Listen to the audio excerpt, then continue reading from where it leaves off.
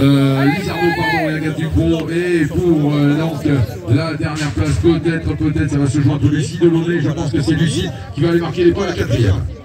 Allez, on a lancé la série numéro 24, le club de Limoges, elle était au couleur numéro 2, très bien sortie de cette grille de départ. Est-ce que c'est elle qui va faire le shot, la plaque numéro 75 C'est varié, c'est bien ça. Et bien qui occupe déjà la première position, on retrouve Jato Jade, Léa du club de Niort, Bio Chloé, Saint-Julien et Bernizan Maïlis du club de Kansas. Pas de changement pour la leader, donc toujours Limoges. Derrière, on devrait pouvoir retrouver notre club de Limoges, 4e, 5e position, alors que la plaque numéro 89 est venue s'intercaler. Et bien qui va aller chercher une Allez, Manuel et à la troisième position, le club de Frontignan, il me semble, Jacques Jade. De filles, euh, c'est parti avec euh, pour l'instant un très bon départ. Je pense que c'est